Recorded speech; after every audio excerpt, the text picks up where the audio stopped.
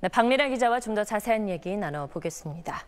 3개 신도시 발표 보면 강조한 것처럼 교통망에 상당히 신경을 쓴 것 같아요. 네, 서울 도심까지 30분 내 출퇴근. 이게 어, 분양 광고에서나 볼 법한 이 문구가 네. 정부가 이번에 내건 3기 신도시의 핵심 키워드입니다. 이게 과장 광고가, 광고가 될 건지 아닐지는 GTX 사업 추진 속도가 좌우할 것 같습니다. 어, GTX A 노선만 해도 어, 예비 타당성 조사를 통과한 지 4년이 훨씬 지난 어, 다음 주에야 착공이 예정이 돼 있는데 이게 또 공사 기간만 5년입니다. 어, C 노선은 최근에야 예비 타당성 조사를 통과했는데 어, 앞으로 교통 영향 평가, 환경 영향 평가, 또 토지 보상 심의 이런 걸 거쳐야 해서 얼마나 걸릴지 장담하기가 어렵습니다. 어, B 노선은 예비 타당성 조사에서 아예 사업성이 없는 걸로 나와서 인천시가 이 조사를 면제해 달라고 신청해 놓은 상태입니다. 네. 어, 그러니까 3기 신도시의 실제 입주가 이루어지는 4년, 5년 뒤에 이 GTX B 노선, C 노선은 다니기가 어렵다는 뜻입니다. 어, 정부가 공언한 대로 GTX 사업 에 최대한 속도를 내야만 서울의 수요를 어느 정도 분산시키는 효과가 있을 겁니다. 네, 그렇군요.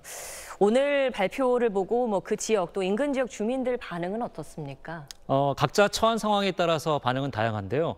어, 교통방 깔리고 이번에 정부가 강조한 자족 기능, 어, 기업 들어오고 일자리 생긴다니까 반기는 여론이 있고요. 또 다른 곳으로 이사를 가야 하는 원주민들은 어, 토지 보상은 어떻게 되는지 이주 대책은 어떻게 되는지 신경 쓰는 모습입니다.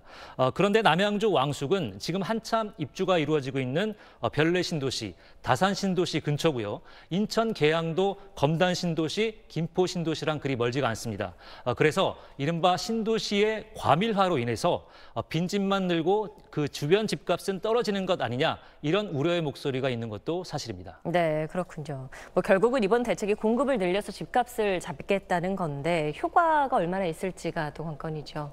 어, 물론 경험적으로 신도시 조성에서 집값 잡은 적이 없다. 어, 이런 시민단체의 비판도 있습니다. 어, 그런데 단기적인 집값 안정은 공급 확대가 아니라 수요 억제에 있습니다.